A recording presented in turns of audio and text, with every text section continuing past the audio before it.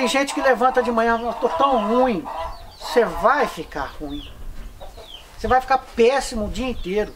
Você levanta, se você levantar com febre, com dor de cabeça, com dor nos, nas juntas, e falar, oh meu Deus, muito obrigado por esse dia maravilhoso.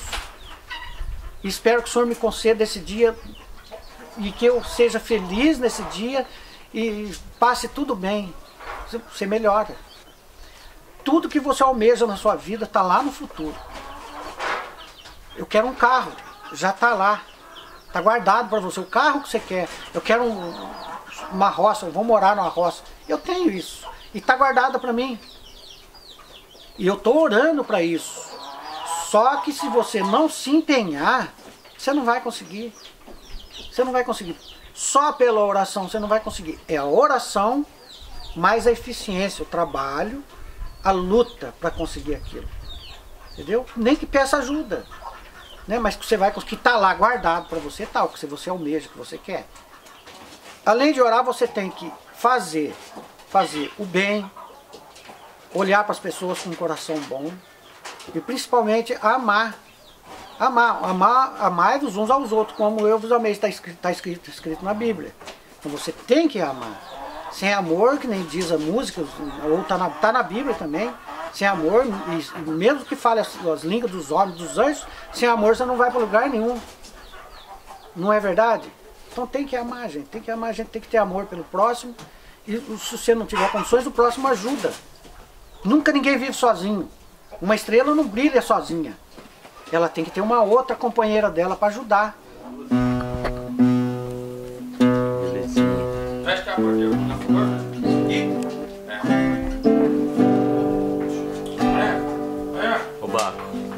começar do, do começo então, falar seu nome? Vamos, Chico. Completo, como que é? João Norberto Fernandes. Só conhecido como Baco, né? É, o apelido é Baco. Mas por causa do que, Baco? Ah, desde pequenininho. Teu irmão meu, Fred, que era pra ele estar aqui hoje, ele não, não deu pra ele vir. É. E eu engatinhava, ele ficava atrás de mim, pedindo pra mãe ajudar, né? E o, e o pai ajudar, o Baco, Baco, Baco, Baco. Só que ele não sabia falar também. Ele tinha um ano e pouquinho quando eu nasci. Aí começando a falar e chamava de Baco. Mas desde de pequenininho, engatinhando. Então foi por causa dele. Não sei onde ele achou esse apelido, mas aí ficou Baco. É que eu achava que Baco é o deus do vinho, né? E, aí- Então, e você é depois- muito animado e tal, eu pensei, vai ver que tem alguma coisa a ver. Não, eu descobri isso depois, do- Depois, né? É. com 17 anos. Aham. Que nós tava começando a estudar na escola, mitologia, essas coisas. Aí apareceu o nome. Aí apareceu não, eu falei, não, meu apelido tá aqui, né? eu falei, gente do céu, Baca é Deus do vinho, Deus do bacanal, da O orgia. orgia. Falei, ah, não é possível, eu não gostei desse apelido, não. Não. Não, eu falei, tem que mudar. Mas tem da alegria também, né? Tem da Que alegria também, você- né? Esse aí você aceita, Tem- né? Aí eu aceito. Ô, ô Baco, você nasceu em que lugar? Nasci na rua Genésio Tarantino, na rua do Piratininga. Aqui em São José dos Campos. São José dos Campos. Uhum. A parteira que fez o parto um, da minha mãe para eu nascer foi a Nica Veneziani. Já ouvi falar esse nome. ouviu falar? É. Ela, ela é do, do, do Alto da Ponte. Uhum. Tinha fazenda ali no Alto da Ponte, a sede acho que é lá ainda, né? Mas ela era parteira da família. E o que, que a mãe conta, o que, que você lembra dessa história de parteira? Porque eu gosto muito dessas coisas de parteira. É, Ela tinha, antes da Nica Veneziana, ela tinha mais uma parteira, que era comadre dela, não lembro o nome. Sua mãe está falando? A minha mãe, É. que ajudava ela, que ela teve, na realidade, ela teve 16 filhos. Sua mãe teve 16 filhos? Vingou 12. Vai, Fala vingou, parece bicho, né? Mãe, é isso mesmo, né? A Vingou- palavra não é essa? A palavra é essa. Vingou É. 12. E três morreram no, no- Foi aborto espontâneo. Sei. 12, 13, 14. Não, 4. Foi aborto espontâneo. 4. É, são 16. E 12 vingou. E eu sei que número dos filhos, mas... Eu sou o penúltimo. Penúltimo. É, tem o caçula ainda. Ah, mas então você não viu seus irmãos nascer, né? Não, só o caçula. Eu tinha 5 anos quando o caçula nasceu, Nasceu. o Anderson. Eu ainda cheguei em casa, tava brincando na rua, cheguei em casa na janela, né? Já tinha uns três dias que eu não via a mãe. Eu- Quem tomava conta da gente eram os irmãos, né? as irmãs. E falei, mãe, de quem que é esse neném? Falou, seu irmãozinho. Seu irmãozinho. Pela janela, dando de mamar na cara. Mas você não sabia quando ela tava com barrigão, nada? Nada, nós, na vida nossa era pra rua, brincar. rua. É cinco anos, né? É. Não tinha noção de nada, muita coisa não. Hoje na, a criança nasce falando. né? Ô Baco, mas o que data que você nasceu? Quantos anos você tem? Eu tenho 51, vou fazer 52 em dezembro agora. Nasci 18 de De- dezembro de 1966. 66. E, e essa sua relação com as coisas da roça, Baco? De onde que vem? Ah, eu, não- meu pai e minha mãe, eles nunca gostaram muito da cidade, né? O meu pai, até no- morando aqui na cidade, trabalhando com, com o seu Romeu Carnevale, Romeuzinho Carnevale, que alinhou um pouco meu pai para trabalhar na pintura com ele. Aí foram seguindo, foram seguindo. Aí ele falou pro meu pai, vocês, ô Dito, compra uns terrenos aqui, que era no centro da cidade, que tinha terreno barato. Meu pai falou, ah não, tem muito filho para cuidar. Não, nessa época não tinha filho. Desculpe, perdão ele começou a trabalhar com o meu carnevale nas pinturas. Aí foi ficando bem, conheceu a minha mãe, Aham. novinha, né? Saiu do Romeu Carnevale, casou e foi embora para o mato, pro sertão com a minha mãe. Que na cidade para ele não tinha condições. Ele falou, não, nós vamos morar na roça e nós vamos plantar e colher e comer. Aí nisso ele teve a primeira filha. E diz que na roça eles, ele caçava. Esses paturizinhos ele pegava de monte para comer, né? Mas onde que era, você sabe? Não sei Não, não. bem dizer, não sei. Eu não sei se. Mas era aqui em São José. Isso, era São José mesmo. Agora pode ser que seja pro lado onde a gente foi mesmo. O, o tempo de. de- de- na, terra de nascimento da minha mãe, né? Que é Jambeiro. Aham. Aí ele foi e voltou, trabalhou de novo, novamente com o Romeuzinho Carnevale, né? Nisso o Romeuzinho falou assim, vamos comprar uns terrenos que tá barato. O Dito não, não quero não. No entanto, o Romeu Carnevale, não sei se faleceu, acredito que não, não fiquei sabendo. Deve ter muitos bens aqui. Mas Seu pai não comprou. o meu pai não comprou. É. Daí quando meu pai pensou em comprar, já não dava mais, né? Mas meu pai morou aqui no, no banhado também. Ele, Mas plantava lá, será? ele não? trocou. Não, no Não. banhado ele tinha um- um- uma banca no mercado, Sei. fazia de comida. Ah, de minha fazer mãe, comida. isso minha mãe e minha irmã, os irmãos ajudavam, né? Cozinhava ali. Isso- No banhado ele trocou uma, uma casa lá da Genésio Tarantino, onde eu nasci, ele trocou um terreno no banhado e uma carroça, se eu não me engano. Uma casa por um terreno e uma E carroça. uma carroça. Ele não tinha muito valor, né? Depois ele trocou uma máquina de costura por um terreno também, não lembro. É uma coisa assim. Um pouquinho do que eu me lembro, né? E nisso ele ficou um tempo aqui, mas o negócio dele era a roça. Aí depois de velho nós mudamos para a Vila Tatetuba. Lá também era, tinha poucas casas, era bem mato também, né? na época. Era, mais mato, é. Mas a a cerca nossa era de arame, nós dormíamos com a porta aberta, janela aberta no tempo de calor. Não tinha bandido. Acho que tinha uns dois policiais só na Vila Industrial que ficava lá na porta da igreja, lá na base deles. Quando tinha um ladrão de galinha, eles corriam atrás. Entra- A porta estava aberta, tinha um policial entrou dentro de casa para correr atrás de um ladrão, ele pulou a janela da cozinha, sumiu. Passou por dentro da Passou casa. por dentro de casa e o policial também acordando todo mundo. Nós dormíamos em esteira, né? Ah, vocês dormiam em esteira? né? Esteira na época. Não tinha cama. Não tinha cama, era esteira. Aí o policial passava, nós assustamos, né? Não tem perigo, nós estamos só atrás de um ladrão aqui. Nossa, foi. Se fosse hoje isso, hein? É. Meu Deus. Invasão de domicílio. Nossa, é. Aí foi- o policial foi atrás, não sei se pegou, mas É. assustou nós, levantamos mais cedo. Mas um tempo bom, um tempo gostoso. Eu peguei esquistossomose nesse Paraíba aqui. É, mas esquistossomose tem cura assim fácil? Antigamente era muito difícil. Pois é. Então tinha uma injeção amarela que o médico falou pro meu pai assim, ó, eu vou dar uma injeção nele, minha barriga já estava enorme. Vou dar uma injeção nele, só que ele não pode olhar pro claro, não pode olhar para claridade, tem que ficar uns dois dias no escuro. Ah, é? E essa injeção é para salvar a vida dele ou não. Se eu der a injeção, tem uma chance de cura. Se eu não der, ele vai morrer. Caramba. Que nem um rapazinho em São Francisco, amigo nosso, morreu por conta disso. Esquistossomose. Novinho, mesma idade minha, mesmo, mesma época, morreu de esquistossomose. Aí eu tomei a injeção, fui embora para casa. Fiquei uns dois dias no escuro. No primeiro dia eu saí no claro e desmaiei. Não sei que reação que dava aquela injeção. Aham. Que o pai falou, não, pode sair, não. ficar no escuro, não é Besteira. louco. Saí, já tontei, caí, desmaiado, né? Aí o pai levantou e botou no escuro e falou, nossa, o negócio é feio É mesmo. isso mesmo. É, não Mas daí você da ficou injeção. bom logo depois? Aí sarou uns dois meses depois, foi a barriga foi baixando, baixando. A barriga inchou mesmo. Inchou mesmo, incha. A tênia chega a 12 metros, né? Ou mais, né? Mas você botou o bicho pra fora? Tem pra fora, em pedaço, né? Que ela picava. Hoje não. não- se você pega uma tênia, acho que nem tem isso. Eu acho que tem sim. Só que tem mais medicamento hoje, né? Então, eu acho que tem, deve ter até produto que a gente come que mata esses bichos, né? Capaz, o que a gente tá comendo não tá nem Não dando tá nem dando pra, pra- eles se alimentar. Não né? dá, eu tá, tô achando que o Ô, negócio tá. quando você era criança aqui em São José dos Campos, cidade mais provinciana, o que, que você imaginava que a sua vida ia ser? Sinceramente, eu, eu desde pequeno queria ser roceiro e tocador de viola. Mas o, o sistema não, não deu chance. Não deu chance porque antigamente o êxodo do rural você queria vir para a cidade. Poucos queriam ir para a roça. Antigamente eu era louco para ir para a roça. O que, que você queria fazer na roça? Ah, plantar. Eu plantava com meu pai feijão. Ah, você eu ajudava? saía da escola e ia de bicicleta daqui em Jambeiro. Ah, é? Saía da escola meio-dia de bicicleta. Na realidade ia por dentro aqui, na, na- pela Tamoios. Sei. Levava um litro de pinga pro meu irmão. Chegava lá 4 horas da tarde, ainda dava tempo de ajudar o meu pai. Capinava um pouco, feijão, arroz. É, arroz não, feijão, ajudava ele nas verduras, na, na, na lavourinha dele. Depois nós ia pescar no rio.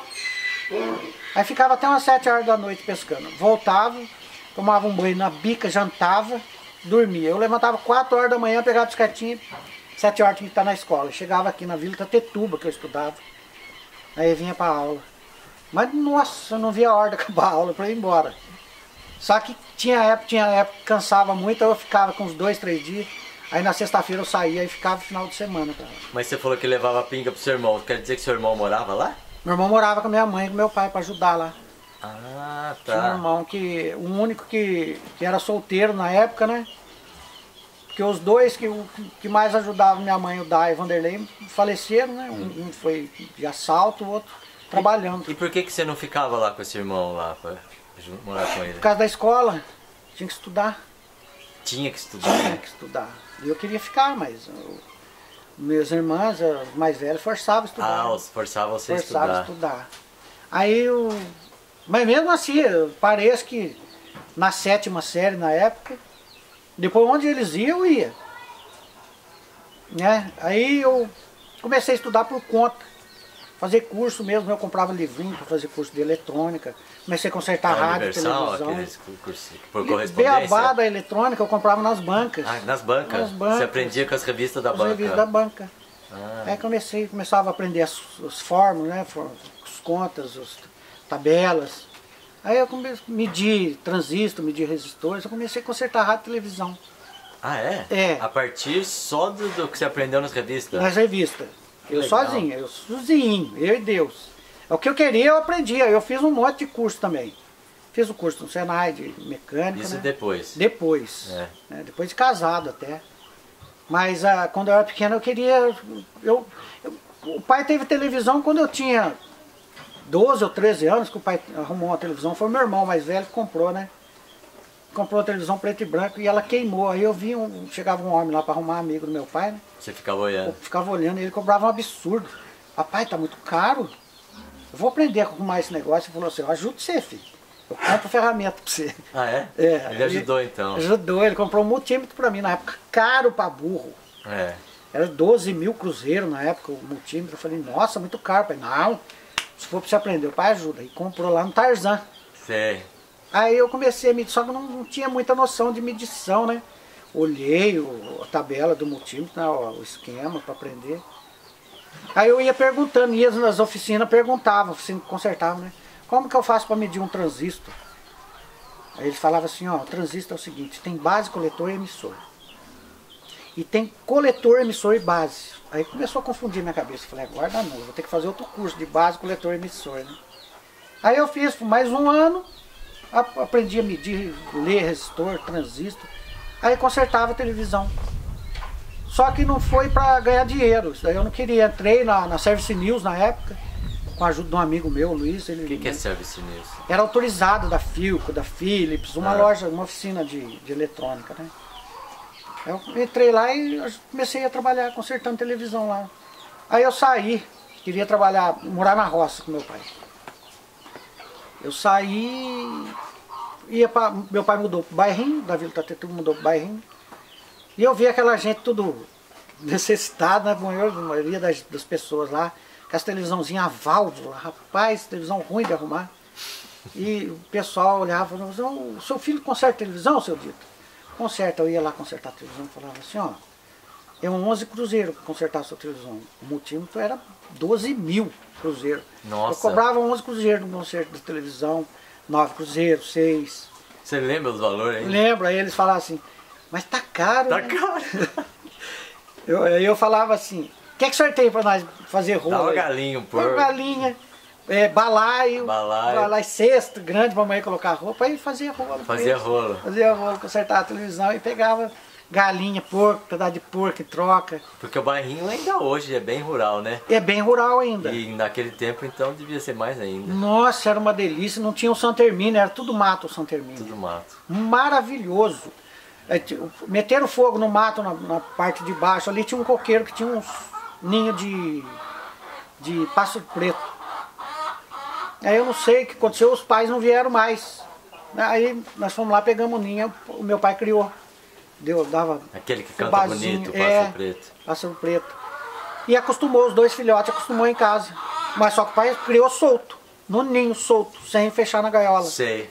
E dava comidinha. Aí começaram a voar, voava no quintal, o pai ia lá, pegava, medo dos gatos comer, né? É. E pôs uma correntinha no pezinho de cada um, mas eles ainda. Aí quando ele viu que dava pra voar mesmo, o pai soltou eles, sumiu os dois. Passou umas duas horas, voltaram pro ninho de novo. Aí o pai botava comidinha ali pra eles de novo. Aí botou ração, deixou eles ali. Aí ia e voltava, ia e voltava. Dormia em casa e passava o dia pra fora. Que legal, né? Nossa! Nunca aí, vi. Aí quando a mãe via gavião, a mãe gritava pros dois, os dois voltavam pro ninho, ficava A entrava, mãe- e a mãe gritava, ah, gavião! Os bichos inteligentes, rapaz. É. Inteligente. Mas é, essa época boa, época boa. Eu tinha 17 anos dessa época. Aí com 18 eu casei, 18 para 19. 18 para 19, acho que foi. Aí eu casei, minha esposa foi morar lá comigo, depois nós voltamos, viemos aqui pro Alto da Ponte. Aí foi seguindo a vida, mesmo assim, meus pais na roça, eu falava pra minha esposa, vamos lá pra roça, porque eu trabalhava por conta mesmo, né? Você queria Sempre trabalhei por conta. ainda morar lá? Eu queria ainda, mesmo depois de casado.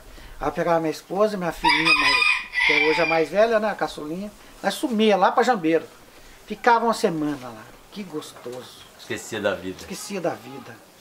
Então, se eu perguntar o sonho seu, já sei a resposta, né? Ah, com certeza. Com certeza. Com certeza. Eu, se eu tivesse condições, eu já tinha sumido da cidade, porque a melhor coisa que você faz, água você não paga, luz não precisa pagar. Hoje tem condições de botar uma luz dentro de casa. Mesmo que seja Dá um você- você dínamo, ainda dá, eu né? consigo dar. Com Qualquer vento, um consegue. com vento. Um catavento. Catavento. Né? Se tiver queda d'água, dá também. Isso. Depois da tecnologia, dessa tecnologia que a gente tem, uma bateria, um, um- um alternador de carro, você põe, você põe energia na sua casa tranquilo. Nós acabamos desviando o assunto. Eu ia perguntar pra você, a roça você já falou. Mas e a música? Como é que você aprendeu? Ah, desde pequeno meu pai era músico, né? Ah, o seu pai to... Ele tocava, tocava? tocava cavaquinho, tocava violão. Aham. Mas você aprendeu com o pai, então? Aprendi com o pai. Só que o pai não ensinava. O pai falava assim, olha, você aprende. A primeira música que eu aprendi, eu não aprendi dó, ré, mi, fá. Eu aprendi, a primeira música que eu aprendi foi essa daqui, ó.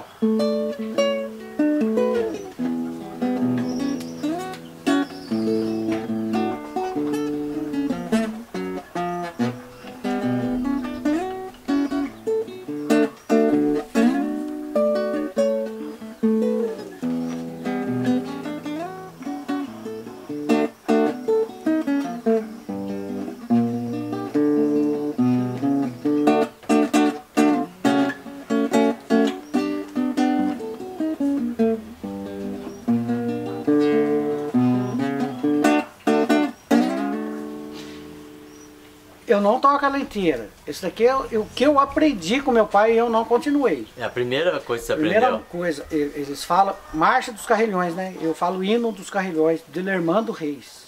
E você faz o que com a música sua, Baco? Como é que você curte ela? Você se apresenta? Você brinca só? Como que é? Ah, eu canto mais só pra mim. Só pra você. É, de vez em quando, quando a gente vai animar uma festa, eu e meu irmão, um churrasco, aí eu, às vezes eu toco umas, Uhum. você cover pra isso? Tem. não? Quando a pessoa Não. quer pagar, você Não, você quando vai em aceita? festa, eu falo pro pessoal assim, ó, vocês ó, passa o chapéu, arruma gasolina pra gente, né? É. Que eu levo as caixas, levo o som, aparelhagem de som, tudo, né? Uhum. Quando a gente vai, quando o pessoal convida pra tocar num, num bar, numa lanchonete, aí eles pagam. Aí eles pagam. Aí eles pagam 250, 300. Às vezes até mais, nós fomos pra Minas animar um, um- um casamento, Ah. o cara deu mil reais pra nós. Falei, nossa, eu volto sempre. ô, ô, Baco, mas quer que bote seu nome aqui embaixo, então? Pode pôr, não Falando- tem problema. É você e quem que toca junto? É o meu irmão. O, eu e meu irmão, o Gilberto. Ah, esse que você tinha falado, Isso. convidado pra vir aqui. É. Aham. Aí esse, esse negócio de tocar, que nem você fala, tocar suas músicas, eu, eu nunca. Poucas vezes eu apresentei minhas músicas, os caras falaram, eu nu- nunca ouvi essa música aí, bonita, rapaz.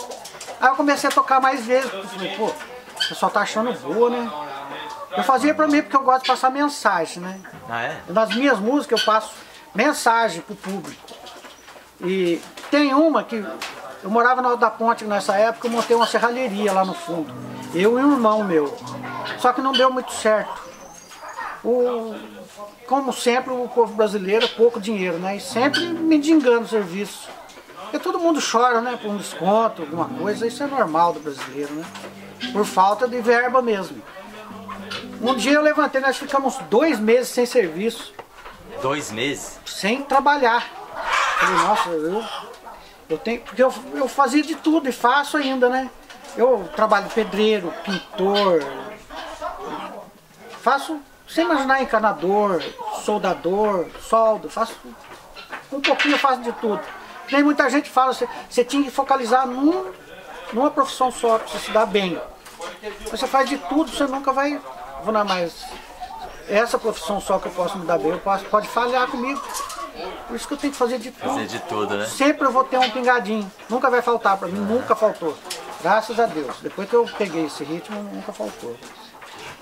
E lá, eh, quando faltou esse serviço, eu, eu sentei na cozinha de casa, fiz o último café que tinha, abri a porta da cozinha, eram umas 5 e meia, quase 6 horas da manhã. Aí o sol começou a bater no quintal. Falei, puta merda, né? Como muitos brasileiros, né? Nessa época de crise, sempre teve crise mesmo. A gente sem serviço. Um dia tão bonito, podia estar com trabalho hoje, voltar para casa com dinheiro. Não tenho, tenho que ficar preso aqui com essa serralheria, não sei o que, eu faço. Eu falei, eu vou fazer uma música. Então eu falei, o sol raiando no quintal, eu fazendo o último cafezinho meu. Será, meu Deus, que eu vou conseguir um serviço hoje? Aí eu fiz essa musiquinha aqui, quer ver?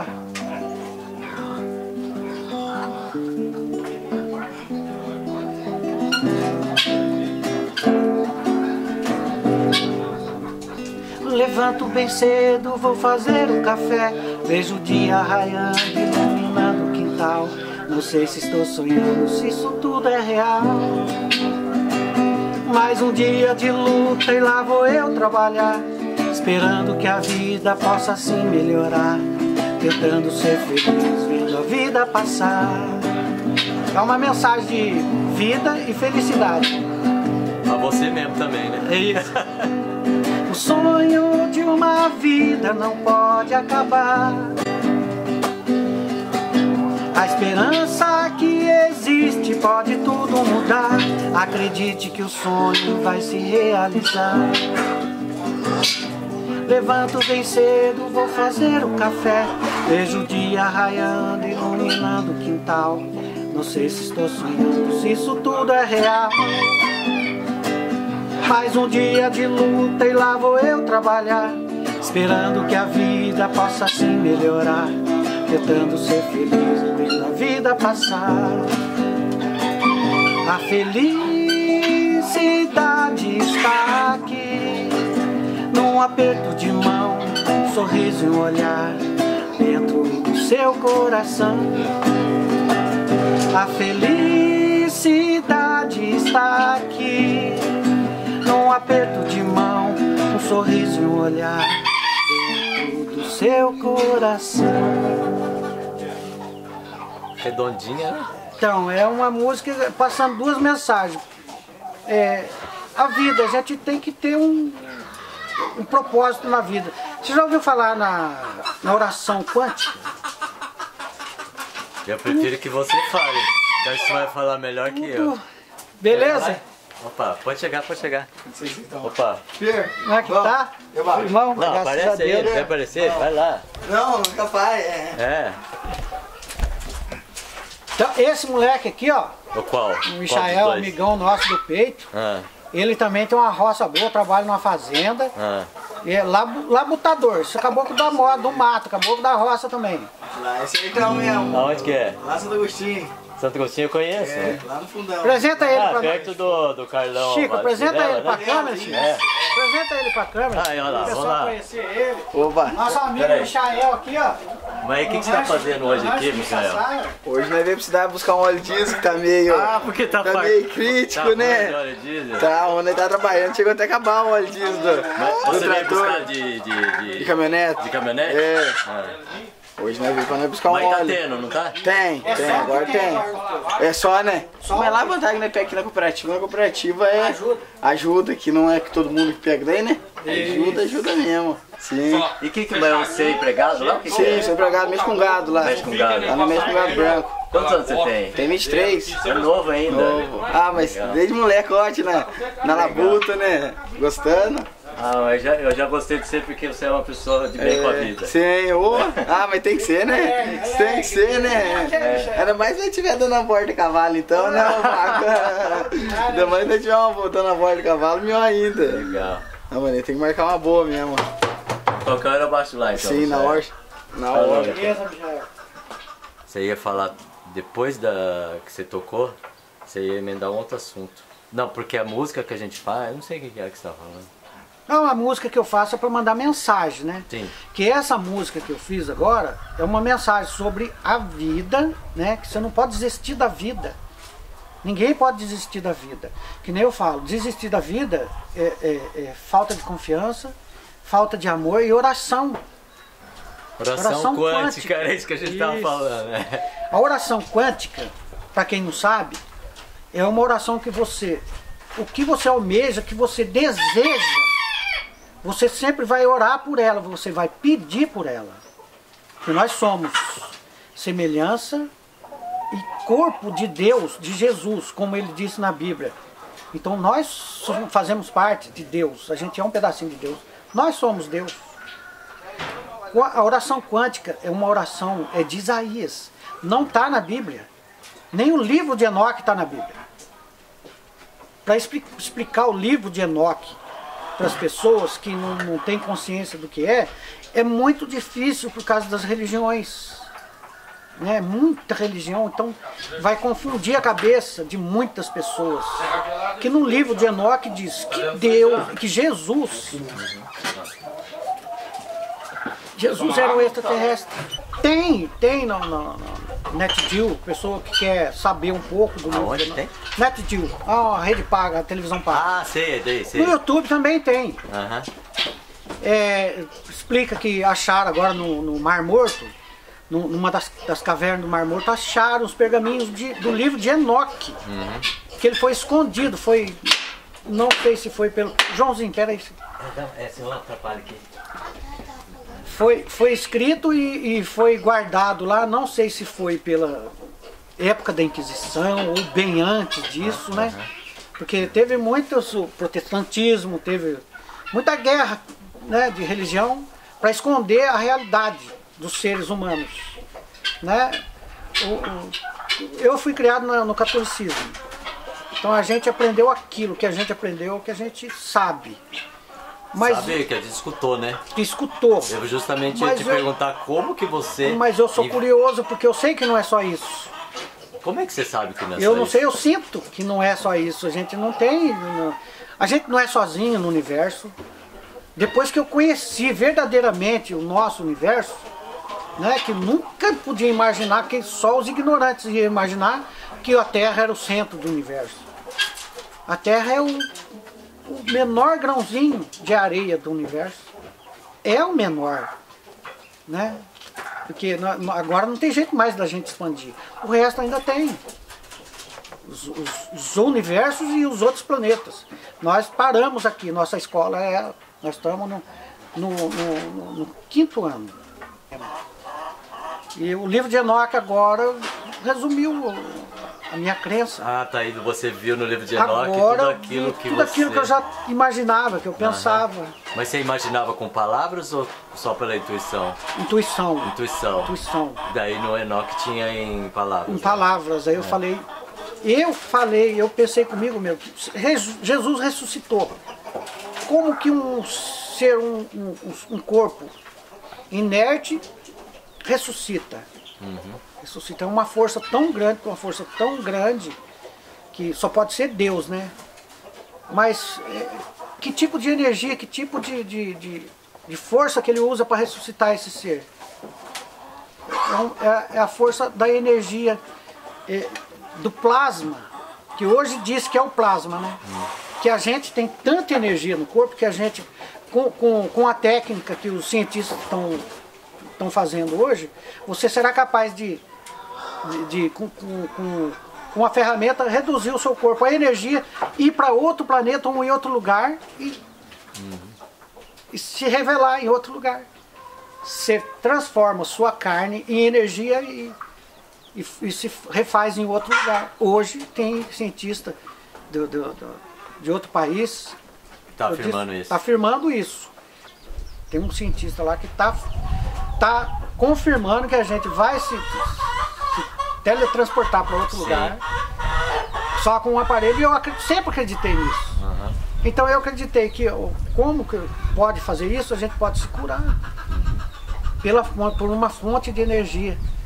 Aí quando veio o livro de Enoch falou que Deus era, Jesus era um extraterrestre, aí eu já confirmei. E que Jesus, ele foi embora, foi embora com uma, com uma luz muito forte que levou ele. Uma luz muito forte que saiu de uma nave. Né? E vai retornar com os anjos numa carruagem de fogo. Uma carruagem de fogo é uma nave. Uhum. Ele não pode vir com uma carroça pegando fogo, gente. Ele vai vir com uma nave, para um bom entendedor. Né? E logo, logo isso vai, vai aparecer, vai, a gente vai conhecer. Eu tenho certeza que eu vou conseguir, se Deus me der. Energia que eu tenho, muita energia para sobreviver até os 70, se Deus me der força aos 80 anos ou mais. Eu ainda vou ver uma nave transportando, levando gente daqui para outro planeta. Não a nossa, nave de outro planeta. Porque eu acredito nisso. Ô Baco, fale, pode, quero pode te interromper. Não, não você estava. Continu, continua aí que você ia falar. Então, e o livro de Isaías diz é, a, a, a força da oração, a oração quântica. Oração, porque tudo é energia. Até se você orar, emana, emana uma energia. A sua oração emana tanta energia que você faz um, um, um botão de rosa florescer, se abrir com a energia boa que, que você tem, se você emanar energia boa. As pessoas, tem gente que levanta de manhã, tô tão ruim. Você vai ficar ruim. Você vai ficar péssimo o dia inteiro. Você levanta, se você levantar com febre, com dor de cabeça, com dor nos, nas juntas, e falar, oh meu Deus, muito obrigado por esse dia maravilhoso. Espero que o Senhor me conceda esse dia e que eu seja feliz nesse dia e passe tudo bem. Você melhora. Então a oração quântica é isso. Tudo que você almeja na sua vida está lá no futuro. Eu quero um carro, já está lá. Está guardado para você o carro que você quer. Eu quero um, uma roça, eu vou morar numa roça. Eu tenho isso. E está guardado para mim. E eu estou orando para isso. Só que se você não se empenhar, você não vai conseguir. Você não vai conseguir. Só pela oração você não vai conseguir. É a oração mais a eficiência, o trabalho, a luta para conseguir aquilo. Entendeu? Nem que peça ajuda né? Mas que você vai conseguir, tá lá guardado para você tal, que você almeja, que você quer. Não digo coisas espirituais. Coisas espirituais já está dentro de você e, e, o seu ser já sabe para onde você vai. Né? Você, você quer ir, todos nós queremos para um lugar bom, né? né? A gente ora por isso, a gente reza e ora para isso, né? Então não basta só orar e rezar, tem que, tem que, além de orar, você tem que fazer, fazer o bem, olhar para as pessoas com um coração bom e principalmente amar. Amar, amar, amar uns aos outros, como eu vos amei, está escrito, está escrito, escrito na Bíblia. Então você tem que amar. Sem amor, que nem diz a música, ou está na, tá na Bíblia também, sem amor, e mesmo que fale as, as línguas dos homens, dos anjos, sem amor você não vai para lugar nenhum. Não é verdade? Então tem que amar, gente. Tem que amar, gente tem que ter amor pelo próximo. E se você não tiver condições, o próximo ajuda. Nunca ninguém vive sozinho. Uma estrela não brilha sozinha. Ela tem que ter uma outra companheira dela para ajudar.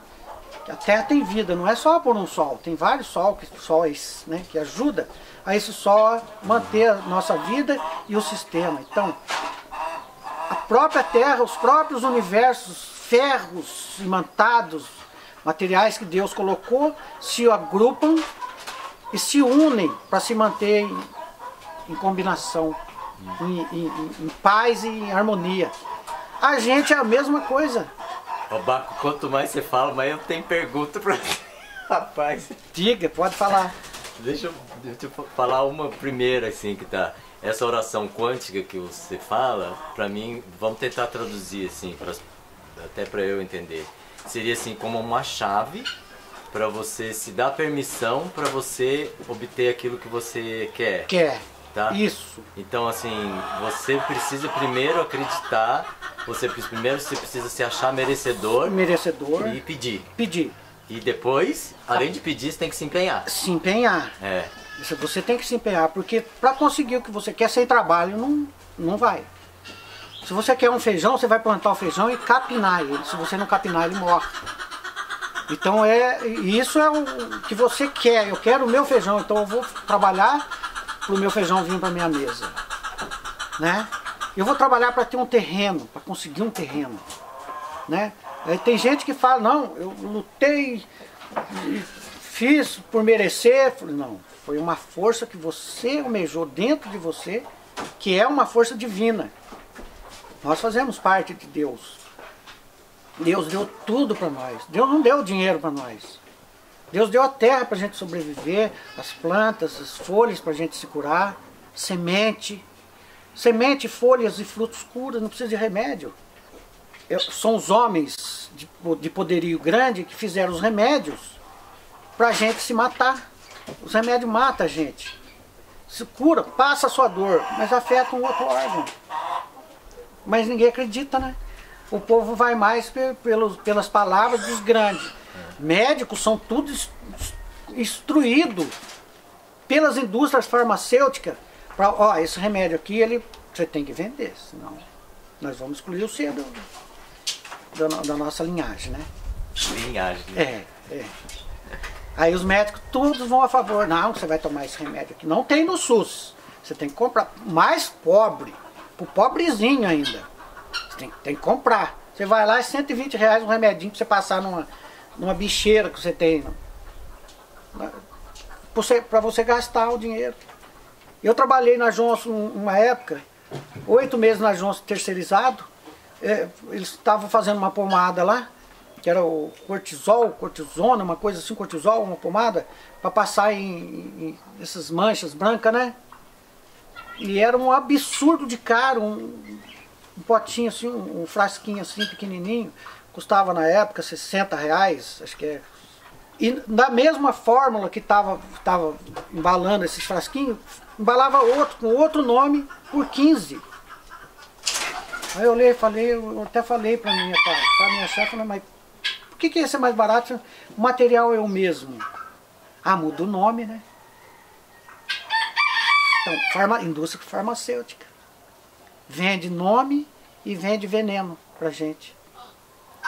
Ô Baco, você com todo esse conhecimento né, que você tem, como é que você convive com isso, sabe? Você transforma isso em letra de música, você passa essa sua é, experiência, visão de mundo para as pessoas nas conversas. Você consegue conversar com qualquer um sobre isso? Converso, eles falam, eles falam que eu estou ficando louco, né?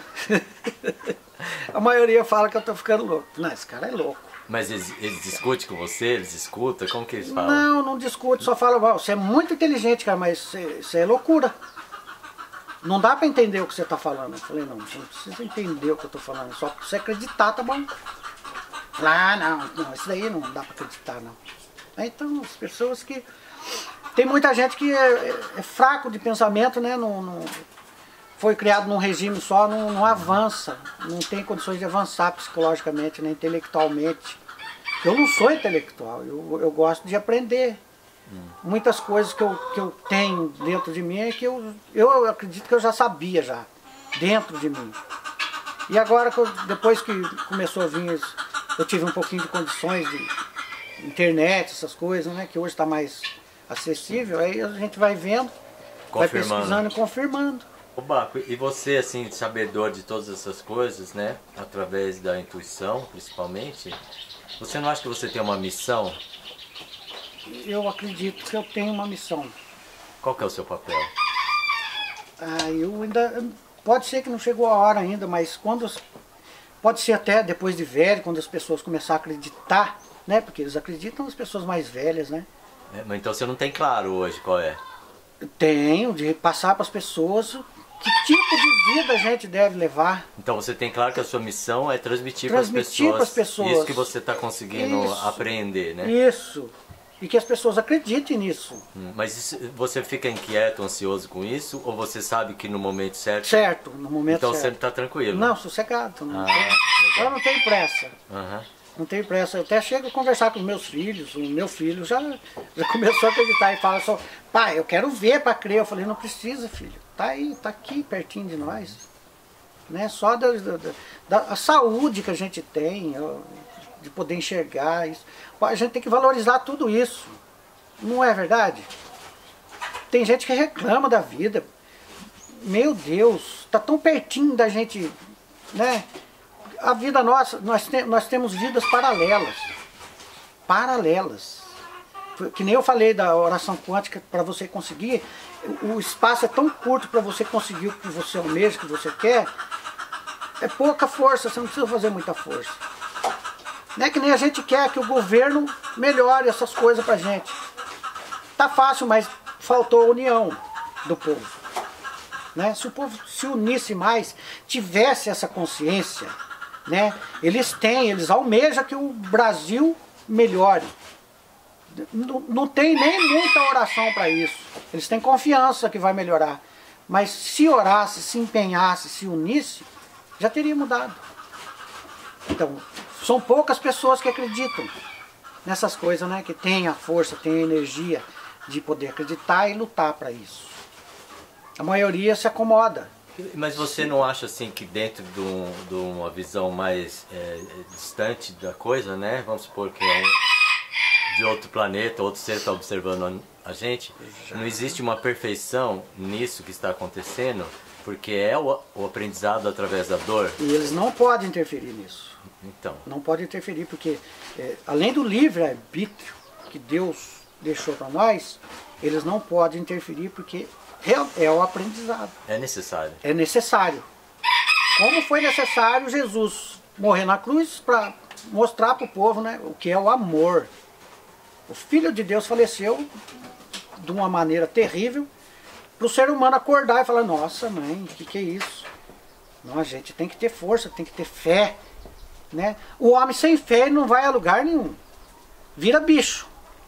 Tem que ter fé em alguma coisa. Mas não bitolar. Chegar e ficar bitolado. Não, que. Né? Os, as, a cruz, a espada, os pergaminhos. Não. A gente tem que ter fé dentro da gente, que vai melhorar dentro da gente. Nós somos corpo e sangue de Jesus. Né? Nós somos semelhança de Deus. Então, gente, nós somos Deus. A gente consegue o que quiser, só que a mente não está aberta ainda para isso.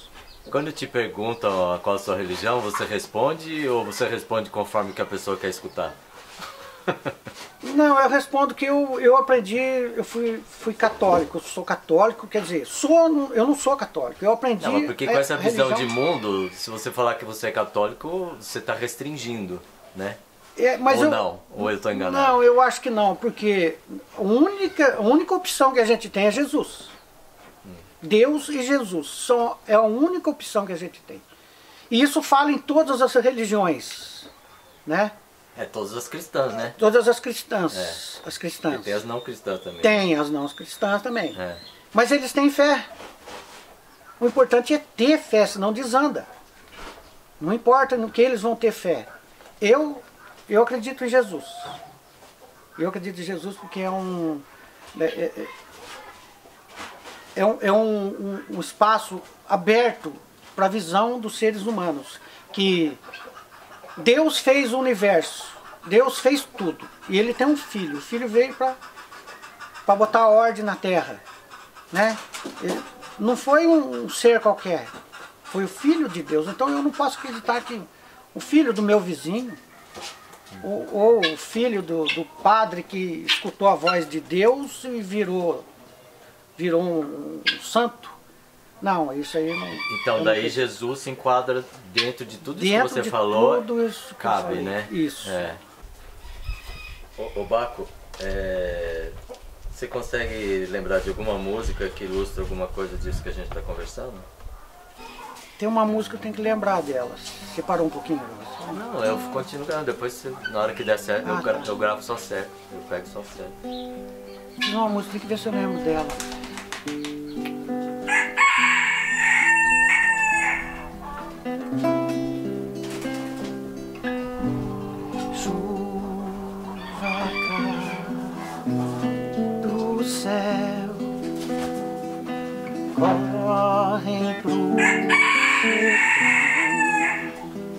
Criam rios e vertentes brotam do chão e matam a sede de toda a. Ventos que sopram em nossa direção, trazendo as monções, mais um ano de nova floração. Campos verdes, mesa farta, Deus da criação. Somos todos pequeninos na sua decisão. Tempo quente, dia frio, noite sem escuridão. Pequeninos seres vivos, dependentes das sementes que nascem do chão. Criam regras arrogantes, sem rumo e sem direção. Faz da terra o seu brinquedo, não enxerga um palmo da sua visão.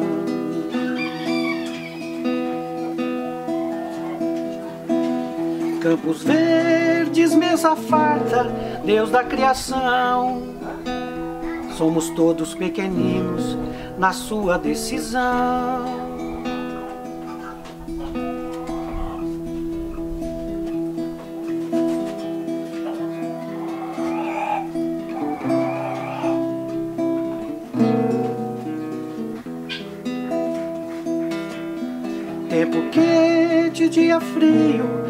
Noite sem escuridão. Pequeninos seres vivos, dependentes das sementes que nascem do chão. Fez, da, fez as regras arrogantes, sem rumo e sem direção. Fez da terra o seu brinquedo, não enxerga um palmo da sua visão. Então é uma mensagem, essa é uma mensagem que eu, que eu essa música eu fiz para passar essa mensagem para as pessoas, né? Mas quando você toca isso? Pra quem você toca isso? Só para mim. E eu toquei ontem pro meu irmão, ele falou assim, eu nunca ouvi essa música. Vamos botar mais melodia nela? Eu falei, vamos. Então é uma mensagem que tanta coisa boa que Deus deu para nós, né? Deus deu, que é as chuvas, que forma rios, vertentes, a gente vive disso, todos os seres. Né? E o homem não dá valor para isso. Eles criam regras, que nem hoje é regra. Você não pode. Eu não admito que vocês reclamem disso. Para mim tá bom. Então eles criam regras arrogantes, sem rumo e sem direção, porque já está tudo sem saber o que fazer. Isso são essa mensagem é para os poderosos, né? Faz da terra o seu brinquedo, né? Que nem a Petrobras mesmo, que joga lixo no mar. Tem muita coisa ruim no mar que está acabando com nossos peixes. Não. Né? Isso foi só para. Isso, isso vai acabar com a nossa terra, porque o buraco que fica, quem que vai tomar conta daquele buraco que fica que está tirando o petróleo? A água não, é, não vai entrar lá. Se entrar água, acaba o mar. Mas tem que. não é verdade? E se entrar água, o que, que pode acontecer? Estão destruindo a terra. Um dia acaba tudo isso. Vai acabar tudo isso. Tudo bem que se, se fosse um negócio para destruir mesmo, para acabar com o nosso, nosso sistema, nossa terra, já teria uma intervenção lá de cima já, para não tirar mais petróleo. Mas eles dizem que não pode mexer, né? Não tem ordem ainda para mexer. Mas vai ter. Nós vamos ter, vamos ter esse privilégio. E essa música eu fiz para aprender, para as pessoas aprenderem. Somos pequenos seres vivos dependentes da semente que nasce do chão. Sem a nossa terra a gente não vive. Sem o que nasce, o que flui da terra, você não tem o que comer. Você vai passar fome. A gente está passando fome porque o caminhão não entrega. E se não tiver para o caminhão entregar? Então essa música é uma... Lembrete. Isso, um lembrete para o povo. Né? Entender o que, que é o sistema nosso. Ô Baco, da, da outra vez que eu tive aqui no rancho do Sassá conversando com você, você, can... você declamou, acho que você declamou alguma coisa para sua mãe. Para minha mãe. E eu queria que a gente podia continuar conversando, porque conversa aqui da sua parte eu sei que tem muita. E, tem bastante. E curiosidade minha também tem. Mas eu queria que a gente encerrasse com isso, né? E Pode ser. depois você queria que você ou falasse antes ou depois, mas eu queria que você declamasse para sua mãe porque eu fiquei emocionado quando você declamou, eu achei bonito aquilo, né? É, essa, quando a gente morava lá na Serra, eu pegava minha esposa, a gente ia passear para lá, ficava às vezes 15 dias, uma semana, 15, 20 dias lá. Eu eu tocava, eu tocava as músicas, né? Tocava. Ficava no quintal sozinho. Aí chegava meu pai e minha mãe ficava olhando. Falava, filho, por que você está chorando? Eu tocava música e chorava, né? Papai, porque eu sei que um dia isso vai acabar. Eu sabia que um dia ia acabar, eu não queria que acabasse, mas é lei, não tem jeito. Falou, aí meu pai fala, filho, todos nós vamos embora. Meu pai fala, meu pai era curto e grosso. Falava isso, a única coisa que eu quero, se você ajeite, se eu ficar velho e não conseguir, é tomar conta da nossa casa lá no cemitério, deixar pintadinha, porque lá é a última morada nossa. Eu vou, seus irmãos, vai, vai todo mundo. E você tem que se conformar com isso. Porque lá em cima pode ser outro, outro tipo de vida, melhor que aqui. E eu, isso confortava um pouco.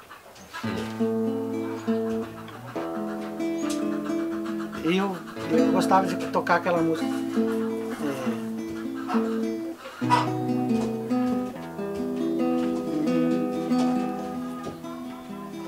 Notei o meu boi no carro e não tive nada pra carregar. Botei o meu boi no carro e não tive nada pra carregar. Mesmo sem nada ainda sou feliz, vivendo aqui neste lugar. O mundo é grande, toda a gente diz, nem que os olhos rasos d'água não precisa mais chorar. Botei o meu boi no carro e não tive nada pra carregar. Botei o meu boi no carro e não tive nada pra carregar. É uma das músicas que eu, eu quando eu cantava, eu chorava lá. Eu falava, vamos tocar essa música com alegria, filho. Eu falava, não dá, velho. A música já é triste. A música já fala de uma coisa triste.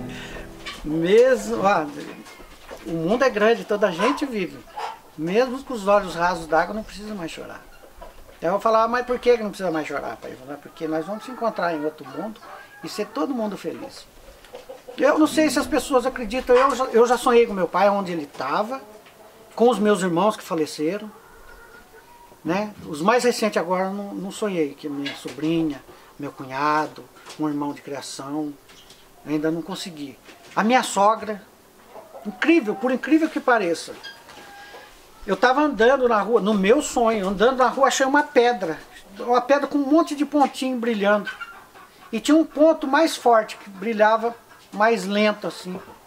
Eu pus o dedo naquele pontinho e acordei numa sala. Onde estava minha sogra e uma mulher junto com ela. Aí ela falou assim, a Ber não veio, Ber é minha esposa, né? A Bernadette não veio, Baco. Eu falei assim, mas como assim, dona Maria? Falou assim, eu esperava que vocês dois viessem. Eu não sou espírita, eu não. Eu falei assim, como a senhora esperava que nós dois viéssemos, dona Maria? Assim, estava certinho para vir vocês dois. Devia ser os sonhos encontrados, não sei. Hum. Aí eu falei, então, dona Maria, mas eu tô com tanta saudade da senhora, a senhora está viva? Ela falou assim, eu estou bem viva, mas não lá onde você está. Aí ela falou, você tem que ir embora logo. Eu, eu um beijo, manda um beijo para ela e fala para ela que eu ainda vou, vocês vão vir junto ainda, que eu quero ver vocês dois aqui. Falei, tá bom, da Maria. A senhora que estava do lado dela pegou e falou, entra nessa sala aqui, a mesma luz que você apertou na pedra, você aperta de novo. Aí eu apertei, na mesma hora eu acordei, na minha cama assim, minha esposa do lado, eu chamei ela. Chamei ela já com lágrimas nos olhos, falei, eu visitei sua mãe. Aí ela começou a chorar também, a pior coisa que eu fiz. Ela começou a chorar, falou, você não fala isso pra mim. Eu estou sentindo muita falta dela, fazia um ano ou dois que ela tinha falecido, dois anos de falecimento dela. Falei, eu expliquei para ela, né? Ela falou, você não me levou. Era para ela ter ido. Era para ela ter ido. Agora, eu acredito que eu fiz um, uma visita para ela. Uhum. E eu acredito. Como eu fiz para meu pai, meu pai falou assim, você não pode ver seus irmãos, você tem que ficar aqui. O pai está mandando um beijo para todo mundo lá e vai com Deus, filho. E eu voltei de um sonho que eu visitei o meu pai e meus irmãos. Eu falei, por que, que eu não posso visitar eles, pai? Eles estão em ensinamento. Um irmão não gostava do outro antigamente. Ah. Então tinha que. Pode ser, pode ser. Eu não acredito em espírito. Eu, né, ver um espírito assim, meu pai vir aqui, eu, minha sogra. Mas, por que, Mas que a gente ir a gente pode. Eu acho que eles não têm Ué, mas... autorização para. Ah, autorização. Autorização. Ah. Mas que a gente pode ir, pode, nem que seja em sonho. Sim. Eu acho que vai. Porque isso não é sonho, isso para mim foi verdade. Então, como que eu vou sonhar, apertar um ponto numa pedra e encontrar com a minha sogra num lugar desconhecido? Então, eu acredito que eu fiz uma visita para minha sogra. Ô, ô Baco, mas e você não declamou uma coisa para sua mãe? Declamei. Não, porque. Então, nesse. Eu achei que você tinha esquecido. Não, desse, desse, desse tempo aí que eu falei que chorava quando cantava essa música, aí eu, eu comecei a assuntar, mãe, o que, que a senhora fazia? Que, ah, eu fazia isso, fazia aquilo. Daqui, da onde você está vendo, filho? Eu ia buscar leite para meus irmãozinhos, sete irmãos. Né? E, e, eu ia buscar leite lá no Calino, que atravessava duas montanhas que davam 6 quilômetros para ir, uns 6 para voltar. E no inverno, ela falava, filho, no inverno era. Nossa, que, que sofrimento da mãe. Por quê, mãe? A mãe só tinha um vestidinho de chita, ia descalço pro bule para pegar o, o leite para trazer para casa. E atravessar esse riacho aqui, filho. Você vê que no verão já é gelado. Eu falei, mãe do céu, é mesmo? E ela contava a história. Os filhos morreram de desinteria porque não tinha não tinha remédio. Meu avô não sabia que uma colherzinha de sal e uma de açúcar na água Sara curava eles. Então foi uma vida sofrida, né? Aí eu fiz a música, a poesia para ela. E depois da poesia eu fiz uma música que o rancho dela, a casinha que ela vivia naquela grota lá de sapê, eu falava, mãe, mistura. Ah, quando, quando o pai deixava, nós matava frango. Quando deixava eu ia pescar no riacho. Eu mariscava o camarãozinho, guaruna, fazia farofa de guaruzinho. E, e sentava ficava ali no banquinho, ali no barranco, pescando. Trazia uns peixinhos para casa. Foi que bacana, mas eu fiz poesia para ela. aos pés daquela montanha num trilho farto de solidão. Caminhava com os pés descalços, rumo a um rancho no meu sertão. Gelo fino cortando a relva, sem um corte de malha quente para esquentar meu coração. Caminhava longa distância até chegar naquela instância para trazer de volta para casa leite fresco da vaca apartada, para alimentar a criançada no outro lado do ribeirão.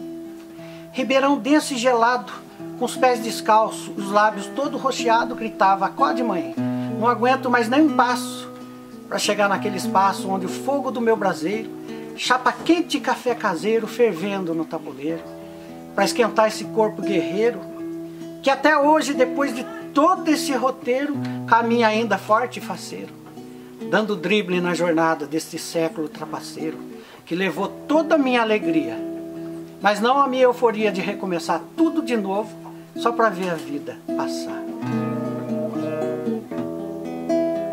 Estrada de terra, pé no chão, uma casa de sapê, lá no pé daquela serra, bem ao lado de um grotão, solitária como que nos confins do meu sertão.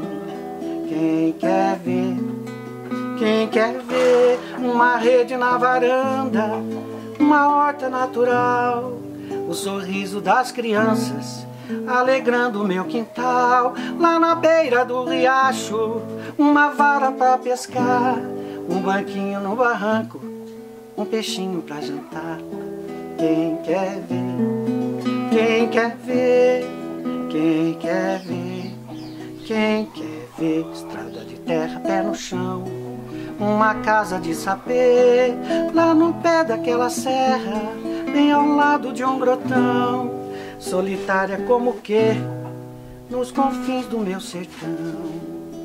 Quem quer ver, quem quer ver uma rede na varanda, uma horta natural, o sorriso das crianças alegrando meu quintal, lá na beira do riacho, uma vara para pescar, um banquinho no barranco, um peixinho para jantar. Quem quer ver quem quer ver, quem quer ver, isso é que é viver. Bonita, né? Nossa Senhora! Baco, esse pra mim é, é muito, é muito.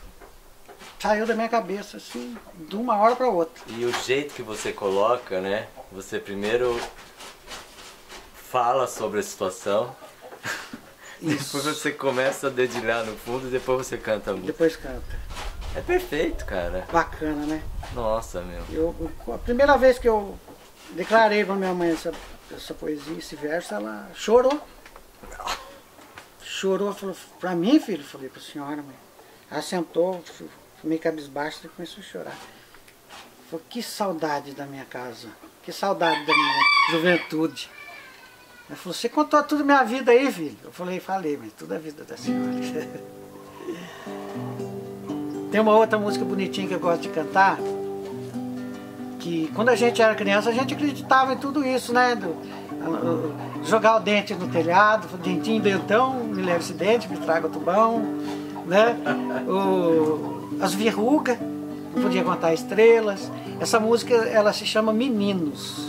Não sei se você já ouviu vou pro campo, no campo tem flores, as flores têm mel. Mas a noitinha, estrelas no céu, no céu, no céu. No céu da boca da onça é escuro. Prometa, não cometa, não cometa fogo. Pimenta malagueta não é pimentão, então, então. Vou pro campo acampar no mato. No mato tem pato, gato e carrapato, campos e cachoeiras. Dentro d'água, pedrinhas redondas. Quem não sabe nadar, não caia nessa onda. Que a cachoeira é funda e afunda. Não solta na jura, mas eu crio asas.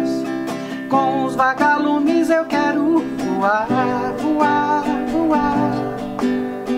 O céu estrelado hoje é minha casa. Fica mais bonita quando tem luar. Quero acordar com os passarinhos cantar uma canção com sabiá. Quero acordar com os passarinhos, cantar uma canção com sabiá. Dizem que verrugas são estrelas que a gente aponta, que a gente conta antes de dormir. Eu tenho contado, mas não tenho nascido. Isso é história de nariz comprido. Deixe de mentir, mentir, mentir. Os sete anões pequeninos, sete corações de menino e a alma leve, leve, leve. São folhas e flores ao vento, um sorriso e o sentimento da Branca de Neve, leve, leve. Eu sou na jura, mas eu crio asas os vagalumes eu quero voar, voar, voar. O céu estrelado hoje é minha casa. Fica mais bonita quando tem Acordar com os passarinhos, cantar uma canção com sabiá. Quero acordar com os passarinhos, cantar uma canção com sabiá. Queremos, queremos Queremos acordar com os passarinhos, cantar uma canção com sabiá.